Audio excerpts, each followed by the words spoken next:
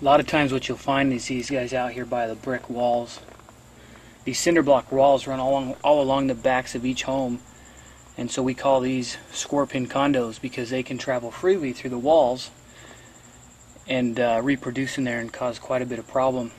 It's common to come out to your back wall and find dozens of these throughout the whole yard. A lot of times they'll stay here, but when you start providing water supplies closer and closer to your home, they eventually work their way into your home. Here's an example of a smaller one inside the crack. Moving around in there, he'll go back inside there and find a hole that will go throughout the brick here. And he'll be safe. They thrive in there because they have no natural predators.